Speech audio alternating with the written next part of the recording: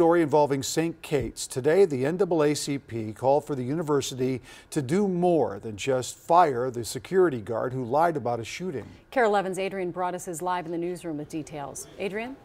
Good evening to you both. The group sent a letter to the president of St. Catherine's with a list of four demands, including the termination of the security guard. This afternoon, a coalition of community leaders, including the St. Paul chapter of the NAACP, called on St. Catherine's to issue a public apology.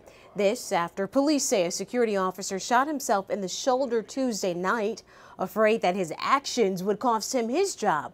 The security guard blamed it on a black man who didn't exist. The group says three black men, including two teens who were walking in the area, were searched.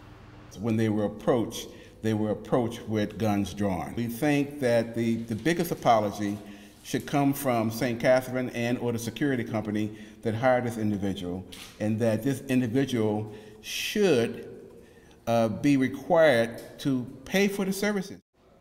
And when they say pay for the services, the group is talking about resources and manpower used to search for a suspect, again, that did not exist. It is important to note police never publicized the description of the alleged suspect because they thought there was something missing with that security guard's story.